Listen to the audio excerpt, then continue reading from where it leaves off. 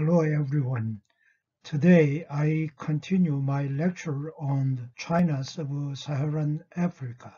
Uh, in this uh, lecture, I will take a look at the impact of China's growing presence in sub-Saharan Africa.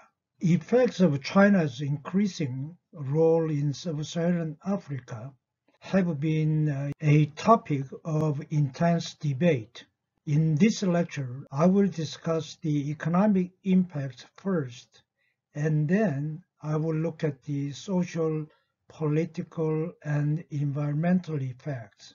Official uh, Chinese statements consistently refer to the relationship between China and sub-Saharan Africa as a win-win relationship, emphasizing the mutual benefits for Africa and China.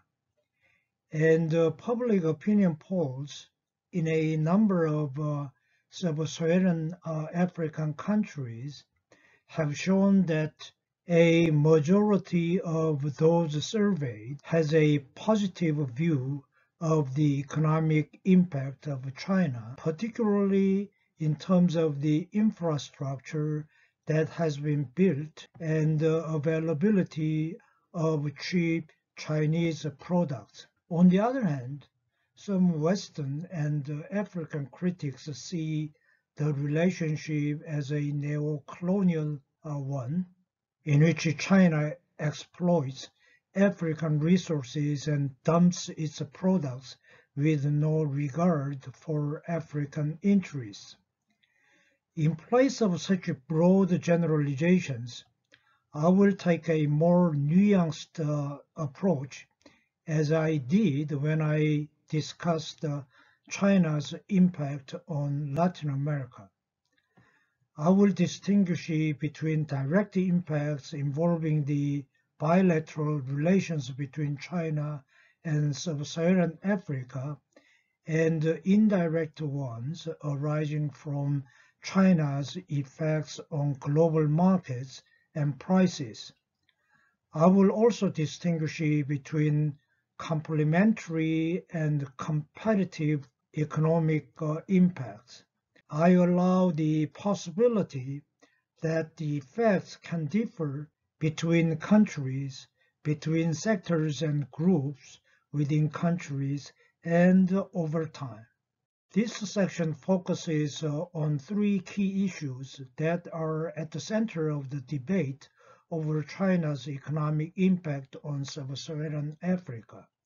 The first is the impact of China on the region's exports and the way in which export expansion has contributed to or impeded growth.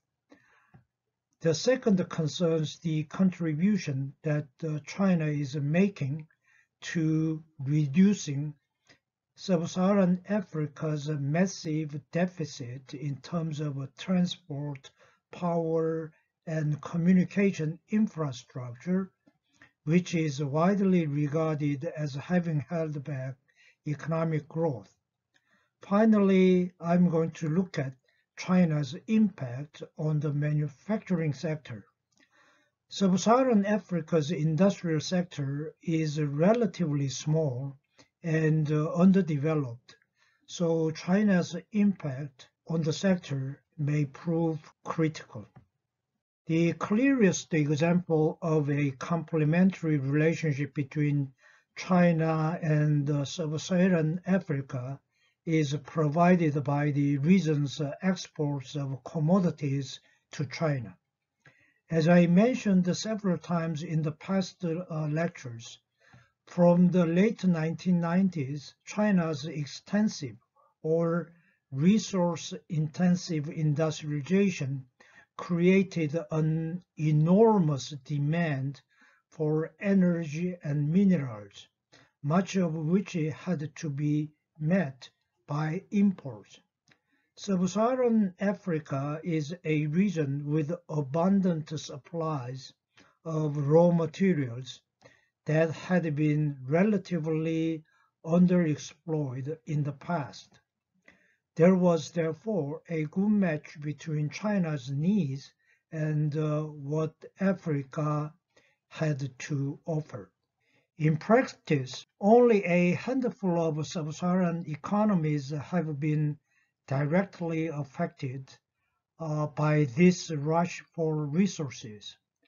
Although China's imports from sub-Saharan Africa grew rapidly during the first decade of the 21st century, they were concentrated in a few countries, with South Africa, Angola, Sudan, and Republic of uh, Congo accounting for around four-fifths of the total.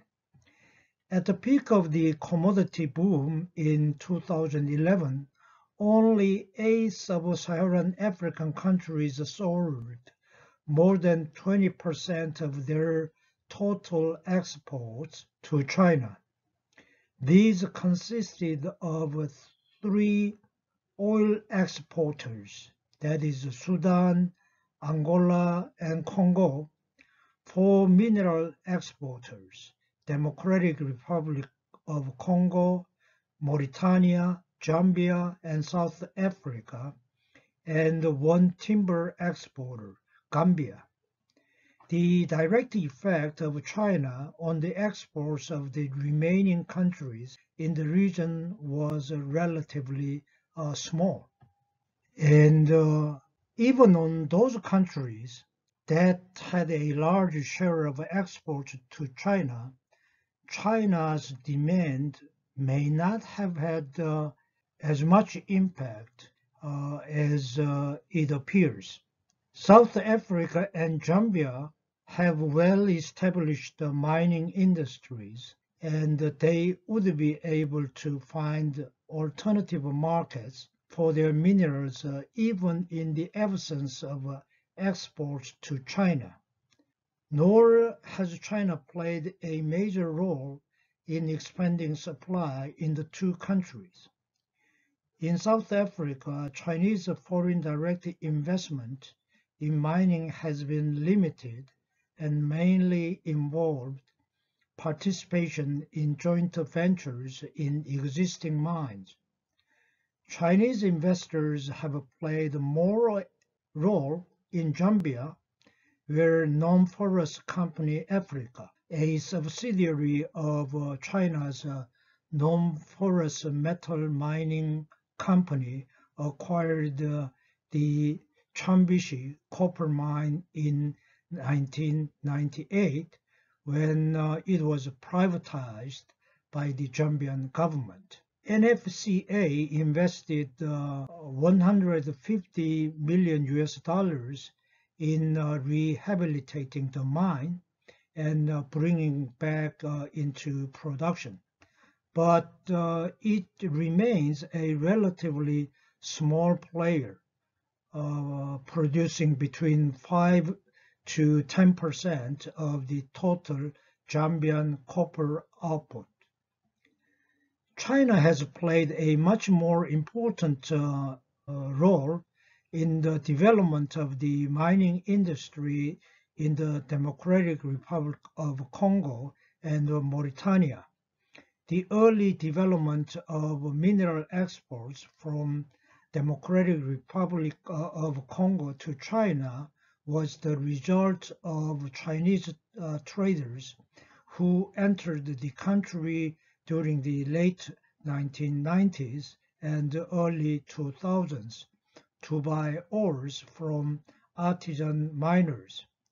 After 2006, many larger private Chinese companies became involved in the industry, and some degree of local processing developed following a ban on exports of raw ore imposed by the local government in 2007. The Sicomines agreement has given uh, further impetus to the mining uh, industry. Uh, given the conflicts and political instability in the country during the period, which limited Western involvement, China played an important role in the growth of uh, Democratic uh, Republic of Congo exports. China also made an important contribution to the growth of exports from Mauritania through the construction of a deep water port at uh, Nouakchott in the 1980s and a further loan for the expansion of its capacity in 2006. More recently, China has also been involved in building a new iron ore terminal at the port of Nouadhibou. The most obvious example of a country where China has played a key role in the growth of exports is Sudan, which has been subject to U.S. sanctions since 1997 and uh, came to depend heavily on the Chinese market and investment by Chinese companies. China played a more limited role in the development of the Angolan oil industry and the fact that uh, Angola has been a member of the Organization of Petroleum Exporting Countries, OPEC, since 2007 and because of that, in theory, subject to production quotas uh, may have limited uh, the extent to which its exports to China uh, represent a net increase in the quantity of oil exported.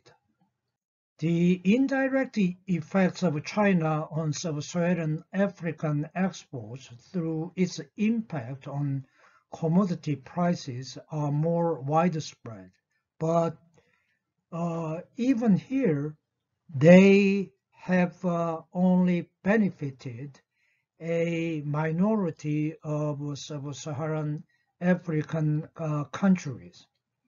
It is true that the terms of trade of the majority of sub-Saharan African countries improved during the commodity boom, but this was not solely due to China. First, uh, there are substantial differences in the impact of uh, Chinese demand on different uh, commodities, with the strongest effect on the prices of minerals and metals. Second, in contrast, the surge in energy prices owed much more to supply-side factors than to the growth of demand from China. China had a moderate impact on feedstuffs, particularly soybeans and uh, sawn wood. In the case of um, a few sub-Saharan African countries, where manufacturers constituted an important uh, share of total exports, the growth of China uh, has tended to depress the prices of manufactured goods.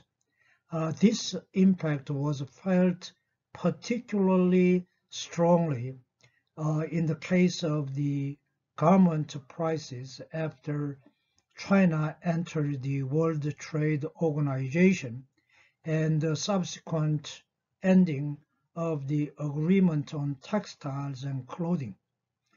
Because uh, Mauritius, Lesotho, and Madagascar specialized in clothing, it is not surprising that uh, they were among those African economies whose terms of trade worsened between 2002 and 2011. In summary, the direct and indirect effects of China on sub-Saharan African exports have brought significant uh, economic benefits to a minority of countries whose economies are complementary to China's because they specialize in commodities that are in high demand in China, minerals, oil, and timber. Despite the general claims made about the impact of China, the majority of sub-Saharan countries remain relatively little affected by Chinese demand, particularly those that export mainly agricultural commodities. Finally, sub-Saharan African economies that export manufactured goods have been negatively affected. An increase in exports and improvement in the terms of trade uh, can have a positive uh, effect on a country's growth in the short and uh, medium term, but uh, critics question the long-term impacts of specialization in primary products. The so-called resource curse literature points to the poor economic performance of many resource-rich countries. Critics of China's involvement in resource extraction in sub-Saharan Africa have argued that uh, it has given rise to Dutch disease. If it uh, really um, did, the impact uh, may not uh, have been uh, that large. One indicator of the potential existence of Dutch disease is the appreciation of a country's real effective exchange rate. Of the sub-Saharan African countries, uh, which export minerals and metals, only Zambia and South Africa had a significant appreciation of their real effective exchange rate between 2001 and 2011. All of the oil exporters in the region saw their currencies appreciate over the period, but China's contribution to the global oil uh, price rise was less significant than in the case of minerals, as I said. As I said above, China did make a major contribution to the development of the oil industry in Sudan and uh, so could have had uh, a Dutch disease effect there. But elsewhere, the appreciation of the exchange rate was mainly a result of global conditions. The likelihood that trade with China uh, leads to Dutch uh, disease effects is also reduced by the excessive use of resource for infrastructure deals in sub-Saharan Africa. Because increased foreign exchange earnings are used to repay loans made by the Chinese policy banks to finance infrastructure built by Chinese companies, the impact on expenditure within the host country is relatively limited. This is therefore a useful mechanism for avoiding currency appreciation in the short term. Export instability is another disadvantage of specializing in a few primary commodities primary commodities tend to be much more vulnerable to price fluctuation than manufactured goods. While countries may benefit from increased export revenues during a boom period, but uh, they suffer uh, the consequences of the bust, uh, which inevitably uh, follows. Over the entire cycle, economic fluctuations uh, make investment more risky, and this tends to depress economic growth. Indeed, many African economies were negatively affected by the drop in commodity prices, and the major exporters to China, including Angola, Sudan, and the Democratic Republic of Congo, so the value of exports to China fall after 2011 or 2012. As I explained in my previous lectures, Sub-Saharan uh, Africa has experienced a huge infrastructure gap, especially with the Western aid shifting its focus from project financing to program financing since the late 1970s. The infrastructure deficit in sub-Saharan Africa has led to inadequate supplies of electricity causing power outages, high transportation costs, and logistical and health uh, problems. These in turn tend to reduce productivity and slow economic growth. It has been estimated that uh, sub-Saharan Africa needs to spend almost $75 billion a year on infrastructure development, including over $40 billion on improving power supplies. And China was willing and able to fill that gap. It had money and experience. As uh, we have seen, China's uh, filling sub-Saharan African infrastructure gap was made in three forms. Foreign direct investment by companies like uh, Huawei and uh, ZTE projects, and loans and aid. There are various estimates of the level of China's involvement in the infrastructure in sub-Saharan Africa. The World Bank calculated that uh, its financing commitment to infrastructure projects increased from less than 500 million US dollars in 2001 to 4.5 billion US dollars in 2007.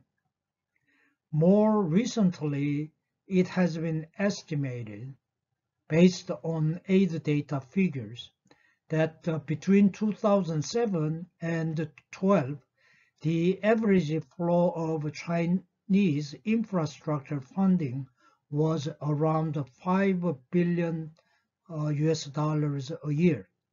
The Infrastructure Consortium for Africa gives the much higher figure of 13.4 uh, billion US dollars for both 2012 and 2013. In 2013, China accounted for around a quarter of all external finance for infrastructure projects in Africa, making it by far the most significant source of finance in this region. The sectors within the greatest uh, infrastructure requirements in sub-Saharan Africa are power and uh, transport. Almost half of China's loans to Africa between 2000 and 2014 went to these two sectors. Not surprisingly, Chinese projects also concentrated in these sectors. Between 2005 and 2016, almost half of the value of such contracts was transport related, and a sixth involved hydroelectric uh, projects. However, uh, several concerns have been uh, raised in relation to Chinese infrastructure projects. The first concern is that uh, much of China's um, uh, finance is tied to Chinese firms and products. Uh, this would be a problem if Chinese suppliers tended to be high cost, or if there was a limited uh, competition among them. In fact, Chinese companies tend to be highly cost competitive as indicated by their success in international tenders when they face competition from non-Chinese contractors. Uh, there has also been intense competition in the Chinese construction industry, which is, after all, one of the factors that has led firms to expand overseas. A second concern relates to the terms on which China provides finance for infrastructure projects. As uh, I discussed in my previous lectures, many of China's uh, infrastructure loans involve swapping uh, resources for infrastructure. Uh, this makes uh, calculating the financial costs uh, involved very complicated. Interest rates themselves are in line with those in the international capital markets, but we cannot deny that the complex and uh, multiple uh, processes leave rarely identifiable rooms for uh, corruption and uh, fraud. Another concern raised in relation to Chinese provided infrastructure relates to quality. Uh, one uh, much published uh, case of poor quality Chinese construction was the Luanda General Hospital. This hospital had to be evacuated in 2010 because of fears that the building would collapse. Uh, despite the reports of um, substandard work in some Chinese projects, there are also examples of Chinese companies achieving high quality work. Problems of poor quality are often attributable to a lack of government oversight and corruption uh, in the host country. In the Angolan case, some critics have suggested that the lack of uh, project durability serves the interests of the local elite by ensuring a stream of new contracts from which they can benefit. Another criticism of Chinese infrastructure projects in sub-Saharan Africa is that they are not focused on meeting the needs of African development, but rather designed to promote China's strategic, political, and economic interests by increasing uh, its soft power and ensuring access to oil and mineral resources.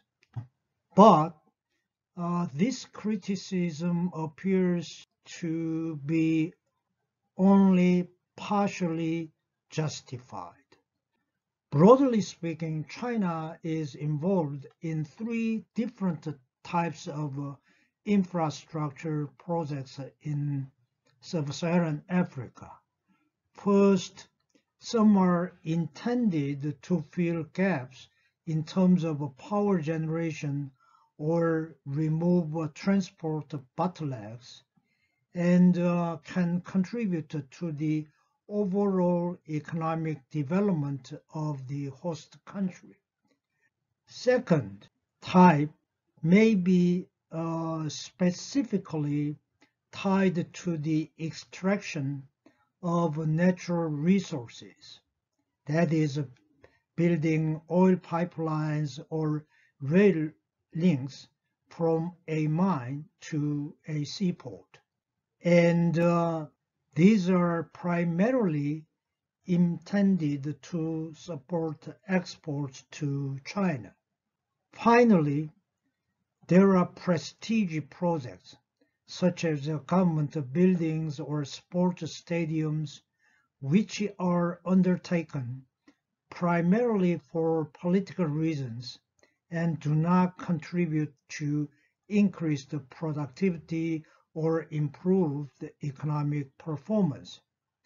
If Chinese uh, projects uh, fall predominantly in the second and the third categories, a degree of skepticism about their contribution to development would be justified. But there are more evidences vindicating Chinese. As for the criticism that the roads, railroads, and ports built by Chinese in sub-Saharan Africa are primarily built for the purpose of uh, extracting resources from the continent and replicate the kind of uh, infrastructure that was built during the colonial per period.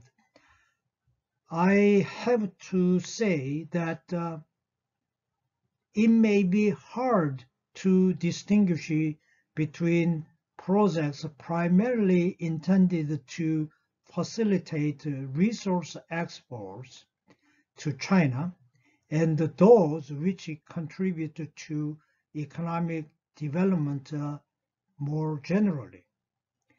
Secondly, in some cases, projects such as port development, which are primarily motivated by resource uh, extraction can also have wider development impact. As I discussed, indeed there are numbers of Chinese prestige construction projects, such as the African Union Building in Addis Ababa in Ethiopia the Foreign Ministry building in Mozambique, and several sports stadiums such as those built for the African Cup of Nations in Angola, Gabon, and Equatorial Guinea. But these do not account for a major share of Chinese loans. One of the most visible signs of China's presence in sub-Saharan Africa is the ubiquity of Chinese goods in the region's shops and markets. And it is often claimed that the Chinese uh, competition is having a negative impact on local industry. Are local manufacturers being displaced by Chinese imports, or has China made it more difficult for African countries to get on the first step of industrialization ladder? In this section, uh, I will discuss the China's impact on sub-Saharan African manufacturing. As I discussed in my first lecture on China's presence in sub-Saharan Africa, imports of Chinese manufacturers have grown rapidly throughout sub-Saharan Africa since the start of the millennium. Despite claims that these products are displacing African manufacturers, much of the evidence is uh, anecdotal. Detailed studies of the impact of increased Chinese imports in particular markets are surprisingly few. Part of the problem is the absence of reliable statistics for most sub-Saharan African countries that would make it possible to estimate the level of Chinese import penetration in the domestic market. Where they do exist, the figures on local production only include the formal sector and therefore underestimate the actual level. Mm-hmm. At the same time, where Chinese goods enter the country through informal or illegal channels, the level of imports is also underestimated. But there is no doubt that the share of Chinese imports in the apparent consumption of manufactured goods As you can see on the right side diagram, one study of five sub-Saharan African countries found that China's share of the domestic market increased significantly from less than 5% to over 10% in Kenya, Senegal, South Africa, and Tanzania, and from less than 10% to over 20% in the case of Ethiopia. But in interpreting this, we should be careful. This does not necessarily mean that the domestic manufacturers have been negatively affected.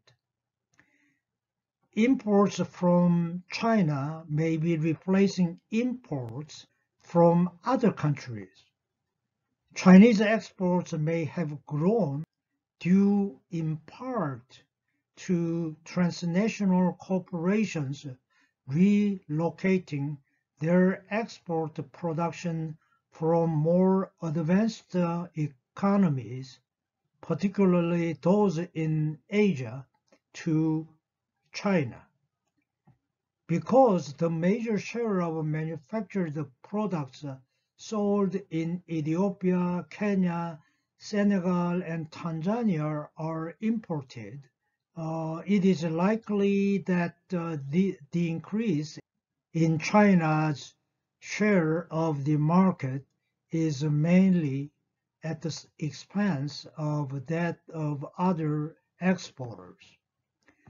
The situation is uh, different in South Africa, which had had a much stronger manufacturing sector before China came along.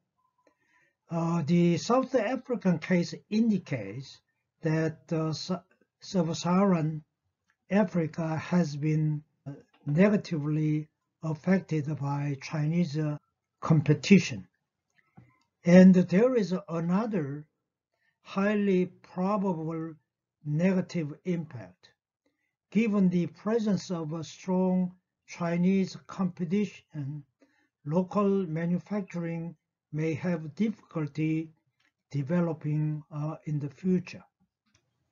Chinese competition in the third market can uh, also have a negative impact on sub-Saharan countries' exports, especially manufactured exports. For uh, sub-Saharan African countries, uh, with the exception of uh, South Africa, which had only uh, recently uh, started to export labor-intensive manufactured at the time China joined the WTO. Chinese competition is stopping them from getting a foothold on the ladder of industrialization. The impact was particularly severe on the textile and garment industry, which is usually one of the industries associated with the earliest stages of any country's industrialization process. African textile and garment industry was uh, boosted thanks to two international arrangements. Uh, the African Growth Opportunities Act, or AGOA, introduced by the US government in 2000, gave uh, preferential access to US market for exports from most sub-Saharan countries. This led to a boom in garment exports to the United States from some African countries, most notably Kenya, Lesotho, Madagascar, and Swaziland between 2000 and 2004. By 2004, clothing industry employed 54,000 people in Lesotho, 34,000 in Kenya, and 28,000 in Swaziland. The combination of AGOA preferences the absence of any rules of origin for least developed African countries, and the U.S. quotas on imports from China under the Agreement on Textiles and Clothing, ATC, uh, which replaced the multi-fiber uh, agreement, created an incentive for firms to use these countries as a conduit for the transshipment of uh, Chinese uh, garments to the US market. In many cases, this involved minimal processing in the African countries concerned and was merely a way of avoiding US quota restrictions. The ending of the Agreement on Textile and Clothing, ATC, meant that such quota hopping was no longer necessary or advantageous. In Lesotho, in the first half of 2005, eight of the 47 garment exporting factories closed, and employment fell by a quarter, while in Swaziland, employment fell by more than 40%. Through a spillover, foreign direct investment contributes to technology transfer. Vertical spillovers from FDI occur mainly through backward linkages to local suppliers, but most studies of Chinese outward foreign direct investment in sub-Saharan Africa have found that uh, these are quite limited. A survey of 1,000 Chinese firms in sub-Saharan Africa found that on average they sourced less than half of their supply from local firms. Chinese manufacturers in Nigeria create few backward linkages, preferring to import their inputs from China. In Ghana, apart from the plastic recycling firms and steel mills which use local waste as a raw material, Chinese firms import almost all their inputs from China. Several factors contributed to the limited development of linkages by Chinese firms. First, where activities are supported by the Chinese uh, Exim Bank, the tying of loans to the purchases of Chinese goods discourages the development of local linkages. Second, Chinese manufacturers in sub-Saharan Africa are usually market-seeking, preferring to source their parts and components from their established suppliers in China and tending not to be well embedded in the local context. Third, the lack of local linkages also reflects the absence of local networks of suppliers able to provide the products that are competitive in terms of price and quality. Exports to China also create a few forward linkages through downstream processing of raw materials. Although resource-based manufacturers account for a higher share of sub-Saharan exports to China, then uh, to developed country markets, the bulk of commodity exports to China are exported in unprocessed form. Another potential spillover from FDI occurs through training of locals employed by foreign companies. The evidence suggests that this channel of technology transfer is also relatively limited despite uh, some examples which have been widely publicized, such as uh, Huawei's training uh, initiatives. Generally, since local workers are mainly employed in unskilled jobs, uh, they receive uh, little training, and uh, what they do receive is at the low skilled operational level. Technology transfer to local firms is also limited, except uh, instances where Chinese firms are involved in joint ventures with local firms. But uh, joint ventures are relatively rare in sub-Saharan Africa. The bulk of investment is in 100% Chinese-owned projects. In summary, considering all these, it is perhaps not surprising at all that the host governments in sub-Saharan Africa have a negative view of the impact of Chinese FDI in terms of technology transfer.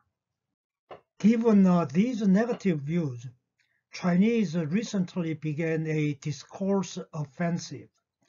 A leading Chinese development economist and former World Bank chief economist Justin Lin argues that uh, China is on the verge of graduating from low-skilled manufacturing to become a leading dragon.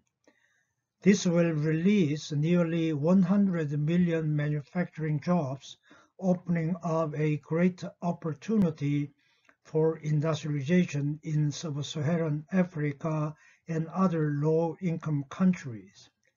He draws an analogy with the flying geese pattern which has been used to explain the spread of industrialization in East Asia from Japan first to four tigers of South Korea, Taiwan, Hong Kong, and Singapore, then to Indonesia, Malaysia, the Philippines, and Thailand, and ultimately to China itself and Vietnam.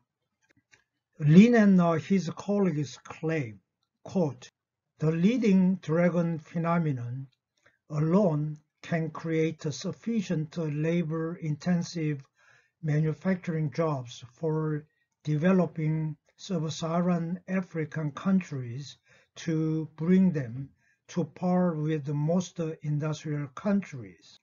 The number could almost double employment in manufacturing in African countries in a few years, jump-starting its process of industrialization. But I think uh, that uh, it is a remote possibility after all. First, wages in the manufacturing sector in sub-Saharan Africa are not necessarily low. Wages in South Africa, which has the region's strongest manufacturing base, are considerably higher than in China, as are those in Mauritius, one of the region's most successful exporters of manufacturers. Zambian wages are also on a par with uh, Chinese wages in light manufacturing. Within uh, sub-Saharan Africa, only a few countries, most notably Ethiopia and Tanzania, have wages well below those of China. Second, average manufacturing productivity levels tend to be considerably lower in most sub-Saharan countries than in China. As a result, only countries with significantly lower wages than China, such as Ethiopia and Tanzania, are able to compete with China in terms of unit labor cost. Third, other costs are higher in sub-Saharan Africa than in China, most notably the cost of inputs and logistics. These wipe out any advantage of low wages in most light manufacturing sectors. Four, even if wages continue to rise in China, there is no guarantee that uh, sub-Saharan Africa will become a preferred location for production by Chinese or other firms. Manufacturers are already relocating within China away from the coastal areas to the inland regions and in other Asian countries where wages are considerably lower. If they do relocate outside China, other Asian countries have wage levels comparable to those in sub-Saharan Africa and similar or higher levels of productivity. Other Asian countries also have lower input and logistics costs than sub-Saharan Africa. So in all likelihood, even if Chinese firms decide to relocate, the probable destination would not be sub-Saharan Africa, but other parts of Asia. So far, I have discussed the economic impacts of China on sub-Saharan Africa, but uh, implications of China's economic growth go well beyond the economic area. Indeed, some of the most vocal criticisms of China's involvement in the region concern the social, political, and environmental impacts. Not only China's growing presence in Africa is often seen as a threat to Western hegemony in the region, but also its behavior is uh, contrasted with a very benign picture of the West's involvement which emphasizes poverty reduction, good governance, and environmental responsibility. One of the most controversial aspects of China's impact in sub-Saharan Africa is the claim that Chinese firms do not employ Africans, preferring to rely largely on Chinese workers, particularly in major construction projects. Given the lack of employment opportunities in most sub-Saharan African countries, this is a particularly sensitive issue. It is true that uh, there are a large army of Chinese workers in Africa. According to official Chinese figures, there are over 130,000 Chinese workers employed uh, on economic cooperation contracts in sub-Saharan Africa at the end of 2015. These figures underestimate the total number of Chinese working in the region.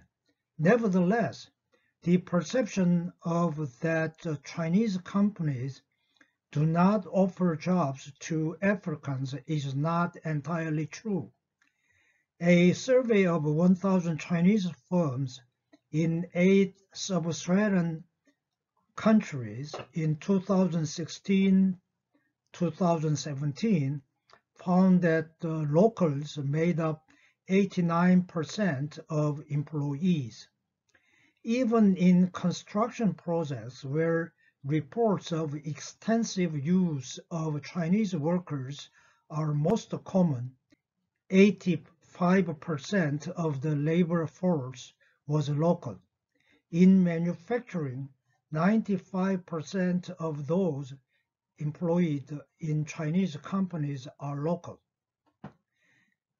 There is also evidence that over time, Chinese firms have increasingly localized their workforces.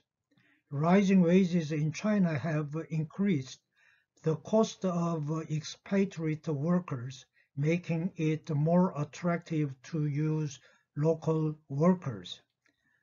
However, the African workforce is mainly employed at the lower levels, and uh, it remains the case that uh, managerial and technical posts are often largely filled by Chinese employees.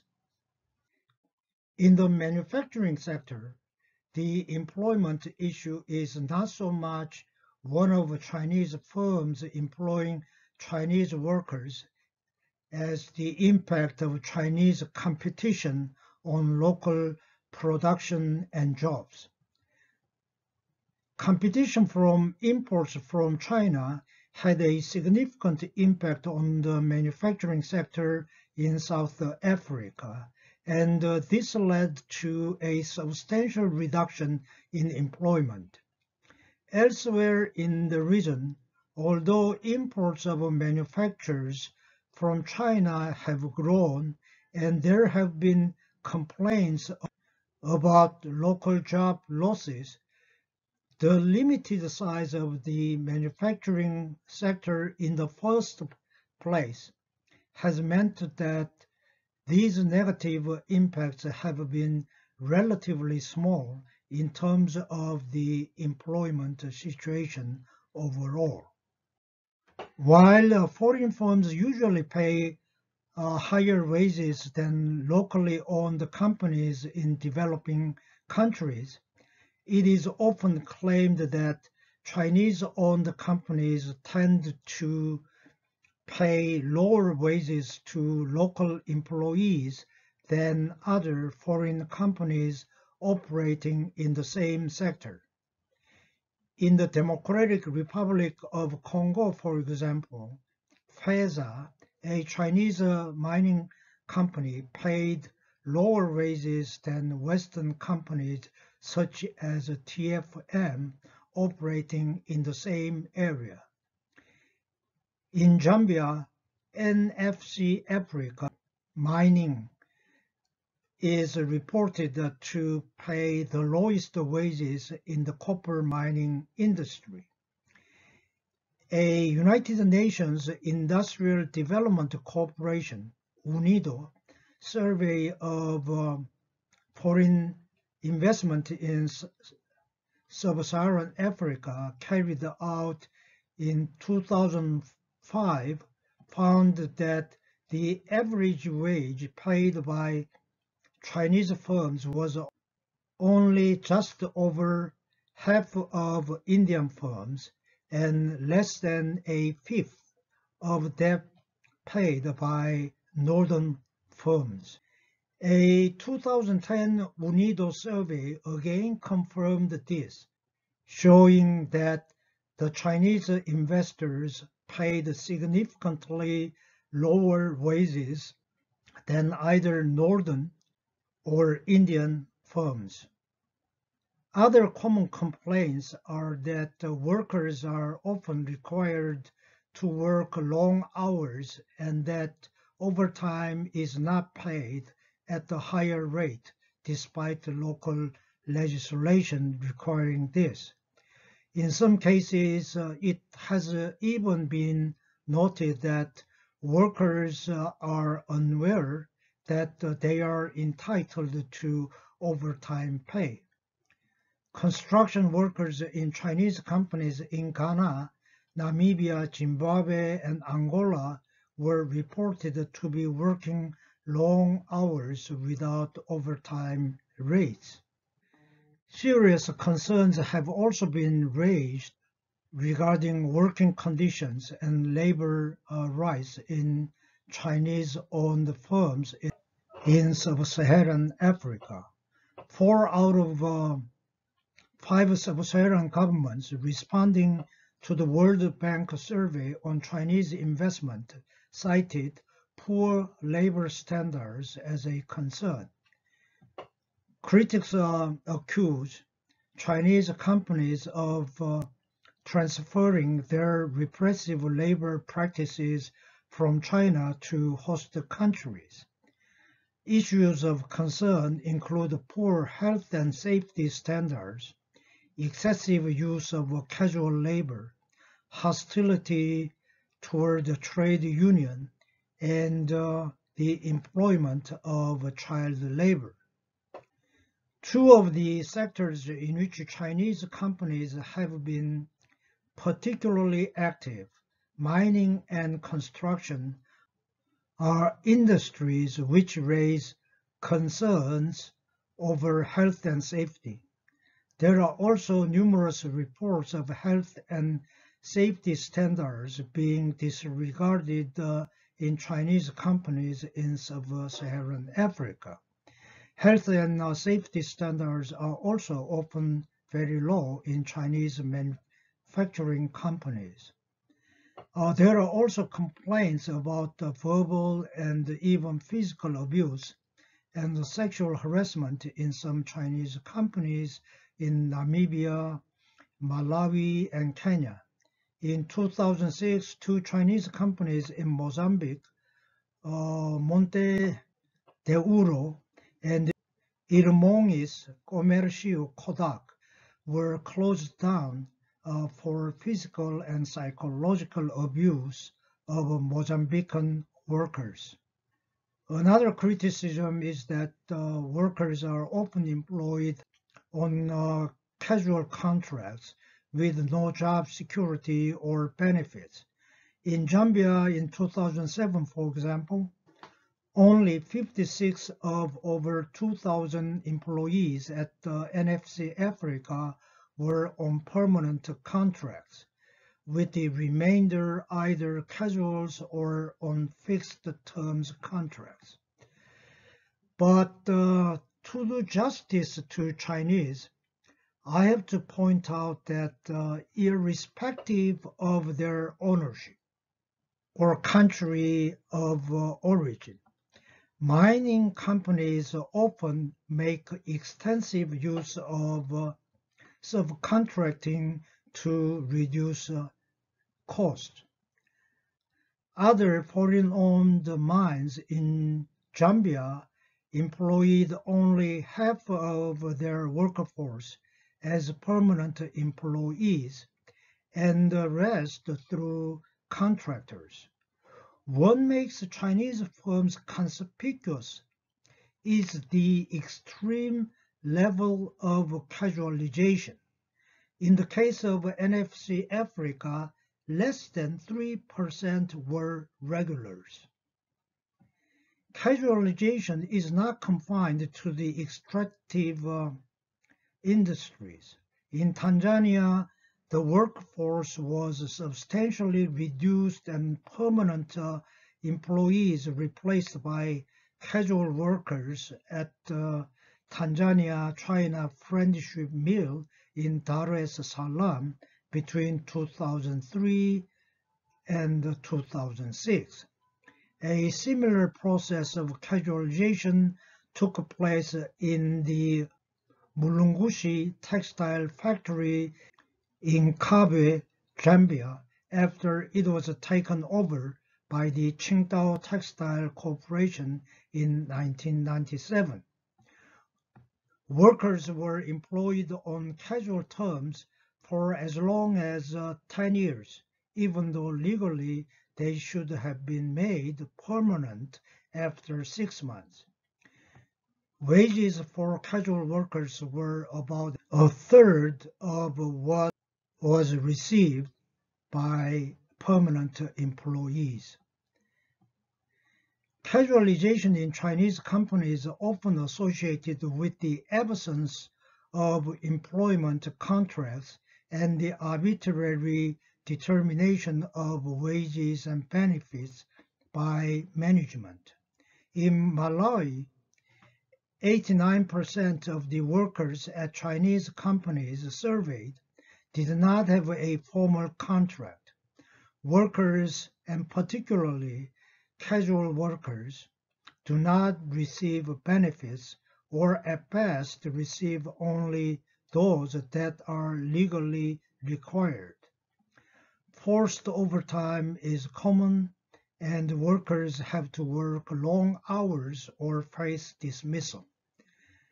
Chinese companies are seen as hostile to independent trade unions and reluctant to engage in collective bargaining.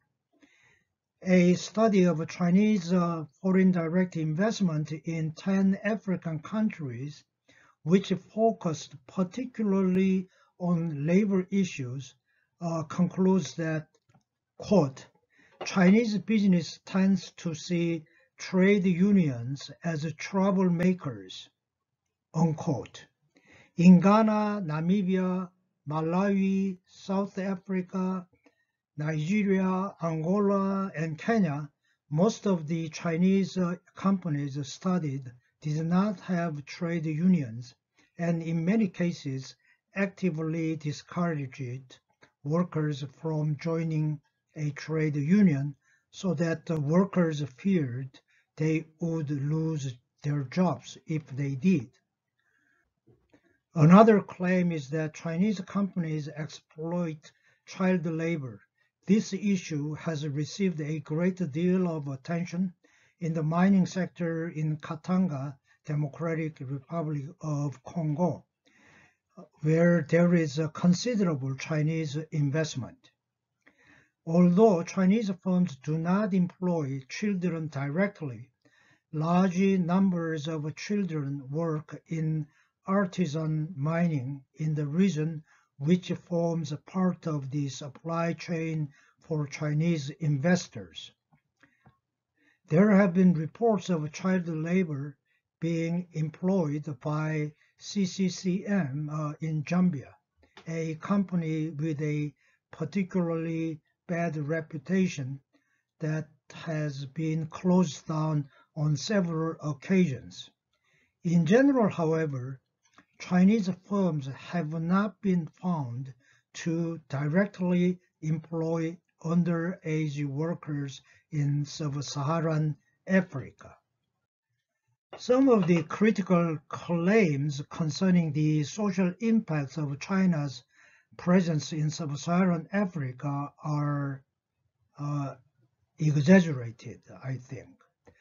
But there is an element of truth to a number of them. The current state of knowledge concerning many of uh, these aspects has not reached to the level where claims and counterclaims cannot be uh, verified. Uh, oftentimes, uh, claims and counterclaims are uh, uh, based on anecdotal evidence and individual case studies. So uh, there is a, uh, a, need for much more systematic uh, research with a more competitive analysis of Chinese firms compared to other foreign investors in sub-Saharan uh, Africa. In addition to that, we have to keep in mind that Chinese behavior is changing over time. A more uh, balanced approach is uh, also necessary to reveal some of the positive social impacts of Chinese activities. Uh, in this particular regard, I have to point out that uh, Chinese investment created uh, many jobs, despite the criticism directed at Chinese firms for using imported labor, even in countries such as Angola, where a relatively high proportion of Chinese workers are employed, it is still the case that the majority of labor force is African. Because Chinese firms are heavily involved in labor-intensive activities such as construction, clothing, and footwear, they do create a substantial number of jobs for locals. The political implication of China's growing economic relations uh, with uh, sub-Saharan Africa uh, have created even more controversy than the social impacts. Back in 2008, the economists made a very dismal uh, prediction. Quote, Diplomats and pundits, for their part, fear that the West is losing Africa and other resource-rich regions.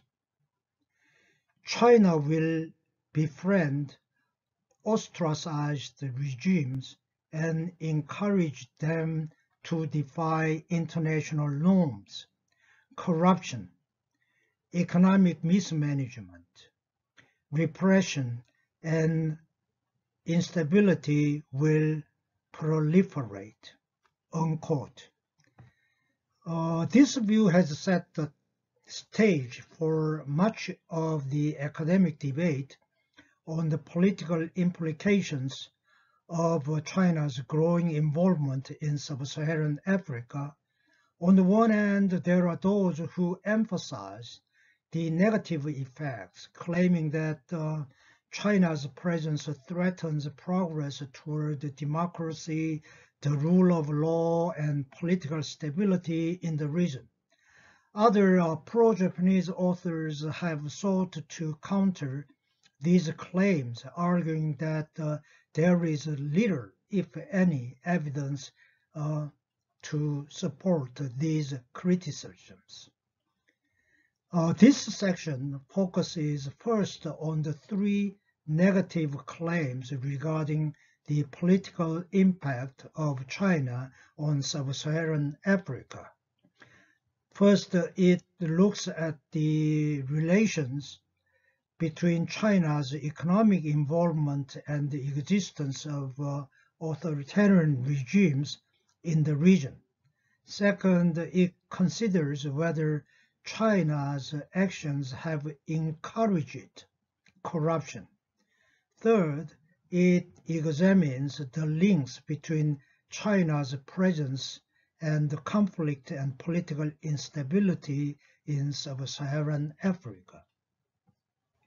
A common complaint voiced in the West is that um, China tends to support authoritarian rulers in Africa, undermining the West's agenda of uh, promoting democracy. Frequently cited examples include the regimes of Robert Mugabe in Zimbabwe and Omar al-Bashir in Sudan. In contrast, the Chinese government claims that uh, it respects national sovereignty and does not interfere in the internal affairs of other countries, and uh, it is ready to do business with different types of political regimes. Supporters of this view point to the fact that China's most significant economic partner in the region is Democratic South Africa. While uh, there are individual examples of both authoritarian and democratic uh, regimes with which China has long economic relations. Is there a systematic tendency for China to favor countries that are less democratic, as the critics argue? As I mentioned in my previous lectures, China tends to have particularly strong economic links with the oil and mineral exporting economies. And uh, as the literature on the so-called political resource curse argues, such economies tend to have less democratic politics. However, beyond this selective affinity between oil and resource-rich countries and authoritarian regimes, does China favor relations with the authoritarian regimes? To give you the conclusion first, the evidences offered by the researchers so far are inconclusive, either for or against. It has also been claimed that uh, Chinese actors usually prefer corrupt regimes because it is easier for them to achieve their objective by doing business with the corrupt elites. It has also been argued that Chinese business practices are highly corrupt and that this gives Chinese firms a competitive edge in countries where control of corruption is weak. One commentator put uh, like this, quote, this Chinese way of business effectively matches with some traditional social norms in many African countries and greatly oils the wheels of bureaucracies in host countries to facilitate deals, unquote. By nature, corruption is secretive and uh, it is rarely revealed to the public. So it tends to be difficult to prove with hard evidences. However, all the circumstantial evidences indicate that the Western criticism is more true than false. First, while Western firms are subject to pressure from civil society and legal constraints, such as the U.S. Foreign Corrupt Practices Act of 1977 and the Organization for Economic Cooperation and Development, OECD, Anti-Bribery Convention signed in 1997 to avoid the situations in which they are likely to be required to pay bribes and engage in other corrupt practices, Chinese firms face fewer pressures. Second, the latest uh, bribe payers index from Transparency International, which ranks major countries according to perceptions of the likelihood that the firms pay bribes abroad, lists China as the 27th out of 28 countries ahead of only Russia. To me, it appears that at least the lack of transparency in many Chinese engagement in sub-Saharan Africa tend to create scope for corruption. Relations between uh, Angola and China illustrate the link between a lack of transparency and corruption. The operations of Angola's National Reconstruction Office, which handled large-scale projects funded by Japanese loans were dogged by accusations of corruption before it was finally dismantled in 2010. As exemplified uh, by the recent scandal uh, regarding Isabel dos Santos, the daughter of the former Angolan President José Eduardo dos Santos. The level of corruption in Angola was at an alarming uh, level. The scandal broke out uh, as the result of a Portuguese hacker released um, secret uh, documents revealing uh, the size of uh, assets uh, held by Isabel uh, dos Santos. And uh, according to the revelation, she is definitely the richest woman in Africa, holding 2.2 billion dollars worth of assets. If you want to know more about this scandal, just Google up, type in uh, Isabel dos Santos, and uh, you will see um, hundreds uh, of uh, news reports and uh, analyses. A third set of issues concerning China's uh, involvement in sub-Saharan Africa relates to conflict and political stability. China's extensive presence in the Democratic Republic of Congo and Sudan are examples of its involvement in such situations.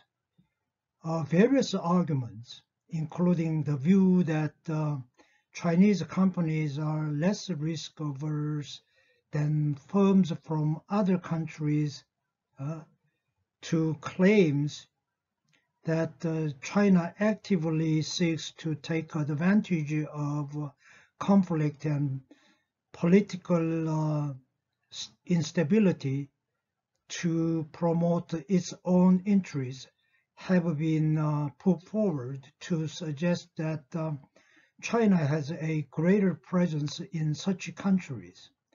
It has also been suggested that uh, China's presence may actually be a destabilizing factor and contributes to conflicts in host countries. Past researches found a clear association between dependence on resources and the risk of conflict in sub-Saharan Africa. Conflict is particularly prevalent in countries which specialize in oil or minerals compared to land-abundant countries which depend on agricultural exports. Resource-rich countries tend to be more prone to conflict than countries with limited resources.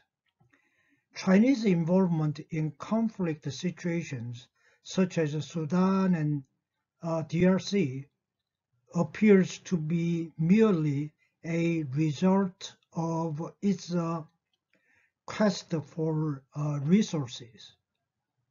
There is a weak evidence that uh, China tends to import more from politically unstable countries.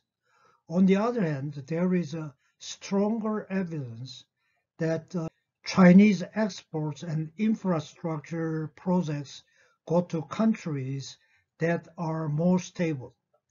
The overall level of bilateral trade, FDI and loans are not affected by political instability.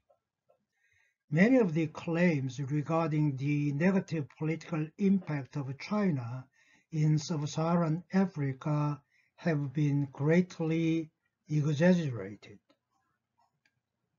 There is no evidence to support the strongest claim that China is exporting its own authoritarian model to Africa or introducing its own corrupt business practices and destabilizing African countries. In all of these cases, internal conditions rather than outside influences, whether from China or the West, are the determining factors affecting political outcomes. There is also very little evidence to support the view that China has prioritized the development of economic relations with countries that have governments uh, that are less democratic or where the level of corruption or political instability is higher. The main drivers of Chinese involvement in sub-Saharan Africa are commercial and strategic economic considerations and uh, with the um, exception of diplomatic relations with Taiwan, political factors are not significant. The evidence uh, is consistent with uh, Chinese claims that it respects the sovereignty of sub-Saharan countries and is prepared to develop relations with uh, different types of regimes. Chinese simply do not care uh, what type of uh, regimes or what kind of political elites they are dealing with. So my conclusion is this. I tend to think that uh, China has not done what it could have done. By treating authoritarian or corrupt regimes on a par with democratic or clean regimes in the pretense of non-interference in internal politics, it virtually helped the authoritarian regimes or corrupt leaders, even if it had not been its express goal. So I think China's fault, if any, is uh, sins of omission, not the sins of uh, commission. Uh, a number of concerns have also been raised over the environmental impacts of China on uh, sub-Saharan Africa. Uh, as we shall see in the next part of the course, China's own uh, development over the past four decades has been accompanied by substantial environmental degradation. This fact fuels a suspicion that uh, China's activities abroad also generate more environmental costs. This is all the more likely in sub-Saharan Africa, where China's engagement has been particularly concentrated in environmentally sensitive sectors, such as oil and gas, mining, forestry, and infrastructure. The risks are further intensified by the fact that as a later comer in the race for resources in sub-Saharan Africa, Chinese investments have often gone to remote and ecologically fragile areas and in some cases to protected national parks.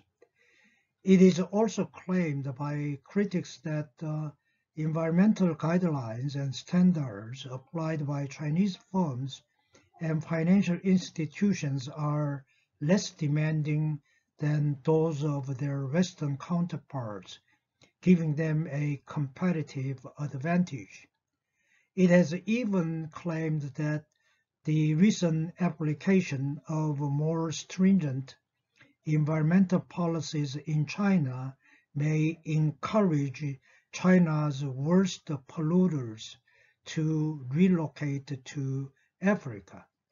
This section considers first whether trade with China has had negative effects on environment, looking particularly at the characteristics of Chinese demand for African products. It then discusses the activities of Chinese firms involved in investment and uh, in infrastructure uh, projects to analyze the extent to which they take environmental considerations into account in their operations. In the process, uh, it also uh, looks at the role played by Chinese financial uh, institutions in promoting uh, or failing to promote more sustainable production in sub-Saharan Africa through the environmental requirements that are attached to their loans. And um, in the last, uh, one apparently positive aspect of China's presence in uh, sub-Saharan African uh, environment, which is uh, China's contribution in the um, extension of uh, solar and wind uh, power in sub-Saharan uh, Africa. As we have seen previously, virtually all of sub-Saharan Africa's exports to China are primary products and resource-based manufacturers, particularly oil, ores, and metals, which tend to have substantial environmental impacts. The growing Chinese market and increased prices of many primary commodities has created incentives for increased production of oil, minerals, and timber, which may have damaging environmental impacts. Oil exploration, production, and transport can give rise to major spillages with devastating environmental effects, as uh, happened in the Niger Delta. Mining can lead to direct environmental destruction through vast open cast mines, pollution as the result of the toxic chemicals used in ore extraction, and the creation of vast quantities of waste.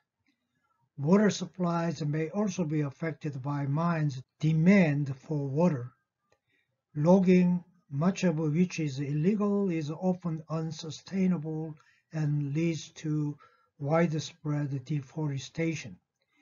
In the case of exports to China, there are numerous reports of environmental destruction in sub-Saharan uh, Africa, but what evidence is there that exports to China are more environmentally damaging than exports to other markets. You cannot uh, blame China's disregard for environment on poor government regulation of environmentally damaging imports uh, into China. The ability of a government to take actions against the imports of goods produced in an environmentally damaging way is extremely limited by World Trade Organization rules that prevent discrimination on the grounds of how a product has been produced. Governments are therefore only able to restrict imports of environmentally damaging products under certain exceptional circumstances. So import regulations are not likely to lead to a significant difference in the environmental impacts of goods exported uh, to China compared to other uh, markets. Of course, there are numerous examples of Chinese firms causing environmental degradation in sub-Saharan uh, Africa. In Sudan and South Sudan, China National Petroleum Corporation, CNPC, has been responsible for the destruction of farmland, deforestation, and the disruption of water flows. In uh, 2013, the Chadian government uh, suspended CNPC's license for oil exploration after the discovery of oil spills in the company's area of operation. Prospecting for oil by the uh, China Petroleum and Chemical Corporation, Sinopec, in the Loango National Park created an outcry which led to the government of Gabon temporarily uh, suspending the company's operation. A number of small Chinese mining companies in the Katanga region of the Democratic Republic of Congo have been reported for their poor environmental track record. And in Ghana, a number of illegal Chinese and other gold miners were arrested in 2013 and accused of soil and water pollution. Major Chinese dam construction projects such as the Merowe Dam in Sudan and the Bui Dam in Ghana have also had significant environmental impacts. In contrast to the reports in the Western media, Chinese studies tend to highlight uh, some successful cases. The China Road and Bridge Corporation avoided the harm to local wildlife during the construction of the Mombasa-Nairobi Railway. China Non-Ferrous Metal Mining Group Corporation (CNMC's) activity in Zambia in reducing waste, recycling, and increasing energy efficiency is another example of a Chinese company trying to reduce its environmental impact. But still, overall, there are more cases of environmental degradation than protection or preservation. Why are Chinese companies so poor in terms of uh, environmental protection? There are some possible reasons. First, it is only relatively recently that environmental issues have come to the fore in China itself. Second, during the early years of the Go Global strategy, the Chinese government paid scant attention to the environmental impacts of foreign direct investment. The first comprehensive environmental guidelines for Chinese foreign investors uh, only came out in 2013 when the MOFCOM, Minister of Commerce, and the Ministry of Environmental Protection published their guidelines on environmental protection in overseas investment and cooperation. And uh, indeed, China Council for International Cooperation on Environment and Development, CCICED,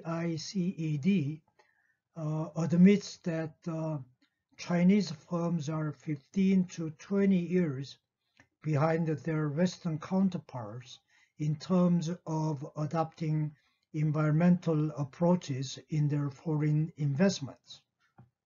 Thirdly, it has been claimed that uh, Chinese banks are prepared to fund projects which have been rejected by other lenders on environmental grounds and that uh, Chinese firms have been able to win infrastructure and extractive sector contracts because of lower environmental uh, standards.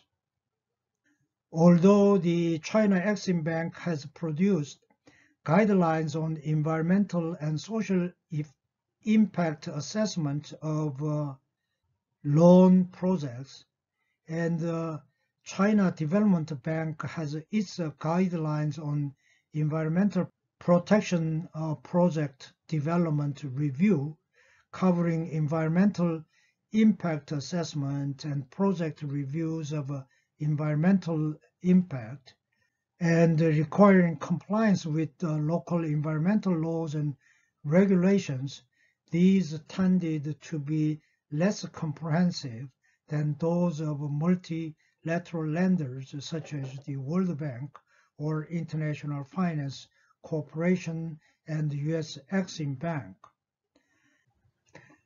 I have no intention of uh, defending the environmental track record of uh, Chinese firms in sub-Saharan Africa, but uh, still we have to exercise uh, some cautions uh, when uh, we deal with the accusations leveled at the Chinese firms.